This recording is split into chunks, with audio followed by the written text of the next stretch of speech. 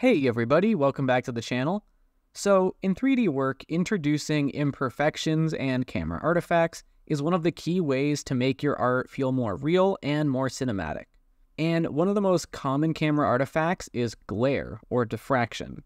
I've made a lot of videos on space-based imagery on this channel, and if you look at images from real space telescopes, you'll see that we often have these diffraction spikes the Hubble and James Webb Space Telescopes both especially have these iconic diffraction patterns, for example. But you also see this in regular cameras, and you actually see this with your eye too. If you look at a very bright sort of point source, you'll see a diffractive sort of glow or haze around it. So now in this video, I'm going to be showing y'all how you can add truly realistic diffraction spikes or glare to your artwork easily and for free. So to start out, we're going to be using a free software from GitHub called RealBloom. There's a link in the description below, and you're just going to want to download the latest version, this 0.7.0 beta, and we'll go all the way down to the bottom of the page. You just want to download this zip file. While you're waiting for that to download, I want to mention that if you really want to understand the physics and the mechanics of what we're going to be doing, which I always encourage, this video by Ange the Great is probably the best explanation out there, and I highly recommend checking it out. There's a link in the description below as well. So now, once you've got it downloaded, we're just going to navigate here to our file, RealBloom, find our .exe file, and open this up. Everything runs pretty well by default on startup. And if you look over here, you'll see we have this list of slots, and this is going to sort of be like our workflow from A to B to C, etc. And so I'm just going to take you through a very basic workflow for how I would use this. And very fortunately for us, the creator of RealBloom actually included some demo files to try the software out with. So I'm just going to select diffraction input, come over here to browse, and you'll have to navigate from your file down here to demo, and we're going to want an aperture for diffraction. This is basically just what the final hole as you're trying to look through the camera looks like. And so I'm going to go with a hexagon. You can see it's got some artificial like blemishes here, so it's not a perfect formation, which is of course what it would be like in reality. And for our diffraction, we just come over here and we just select compute. There we go. And you can see we now have something that actually looks like a diffraction spike. And this is sort of the idea behind it. Now, one thing though is you'll notice this is all just white. And so we're going to move this from our diffraction result to our dispersion input. And then we're just going to come over here and apply dispersion. And now you can't really see it, but we actually have a gradient. Actually here, if I boost my exposure, you can see now we have a sort of blue to red gradient going on here, which is the effect of different wavelengths of light being scattered at slightly different angles. And so I'm going to turn this exposure way back down. By the way, if you want to enter a specific value here, you just control click to do that. And now what we're going to do is we're going to take our dispersion result and we're going to move this to our convolution kernel. This is really important. The kernel is sort of the shape of your glare. The input is just the image that you want to apply the glare to. So now for my convolution input, I'm just going to go browse. We'll come up to our demo here, images, and I'm to select leaves. This one sort of shows the effect really well. And we can just click convolve here. And there we go. You can see that sort of applied this glare effect to our image. I'm going to lower this way down though. Our sun is very, very bright. And just off the bat, you can see how this adds a ton of realism. And if you adjust the exposure over here, can see how that affects it across the image. You can also just adjust the exposure of the convolution layer. You can also use additive blending to preserve more fine details. You can see if I go entirely to the convolution layer and just remove the entire input image, then I get all this sort of haze effect with all the diffraction and the glare, which we like that. But we can also keep this original input to preserve all our fine details, which I really like. Depending on what your scene is, you might want to use one or the other. And so it is pretty cool. RealBloom comes with a few pre-made kernels. If you come down to this folder, we have one, for example, like the James Webb Telescope. If we go here, click Convolve, you can see we get the James Webb Telescope sort of look. And of course, you can make more using all those apertures. But if you want, I actually did just release a pack with some pretty cool kernels based on cinema cameras, the Hubble and James Webb Space Telescopes, both with much higher resolutions over on my Gumroad. So you can check that out if you like.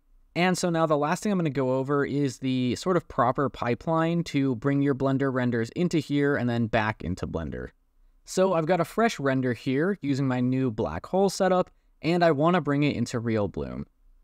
Now, the first thing I'm going to do is I'm going to come down here to my color management, and I'm going to select my sequencer.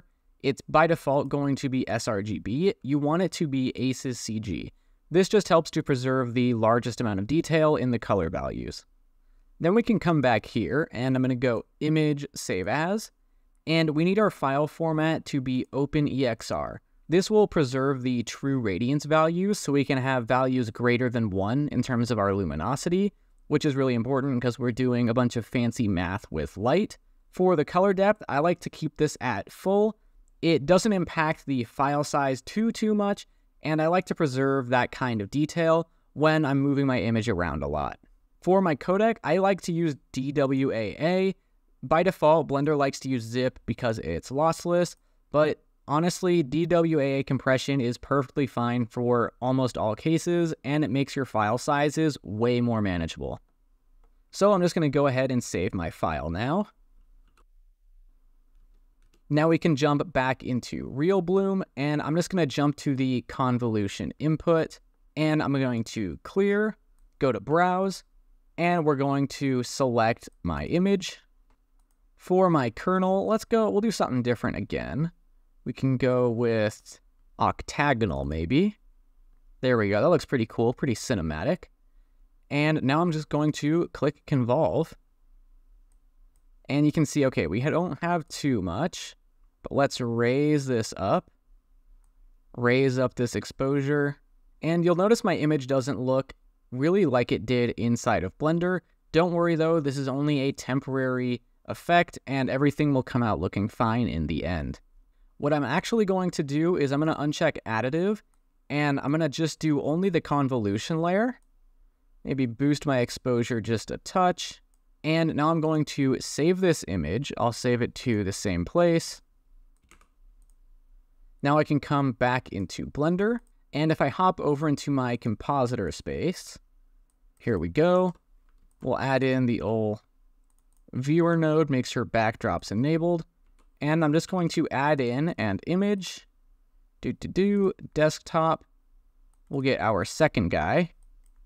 Here we go.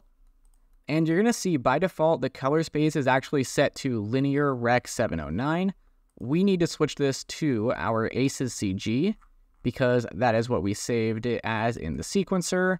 Now I'll just grab a mix color, set this to add, and we'll plug in this you can see now we can just add our diffraction on top of our original image and we get this really awesome sort of cinematic glow effect.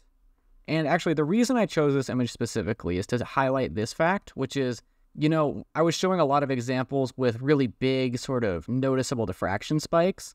But in this case, it's actually just more of a soft glow that's being added. You have some diffraction over here where the really bright part is, but overall it's actually just adding a nice glow. If you really look over here, it makes this so much more pleasant to look at.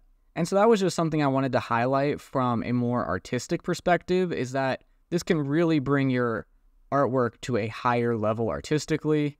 And so that was just something I really wanted to show and to sort of drive home is that this is applicable for really all kinds of renders, even ones that won't have big iconic diffraction spikes.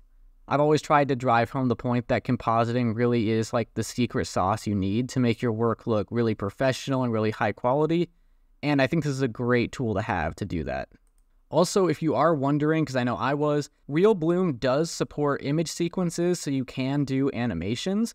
Now, the bad news is that I'm not going to cover it in this video, but I will put a direct link to the part of the GitHub page where the creator goes over how you can do it. You do have to use the command line interface, but the developer provides pretty much all the basic stuff you need.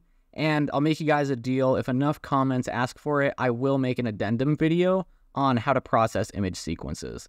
And yeah, that's the video, folks. Just to mention again, I do have that pack of kernel images, high quality, really cool, available on my Gumroad. Also, a really cool way to support the channel if you like. There's a link below. I hope you enjoyed the video. Consider liking, subscribing, all the YouTube jazz if you did. And leave a comment if there's some VFX thing you'd like me to make a video about in the future. I hope you guys found this useful, and I'll see y'all next time.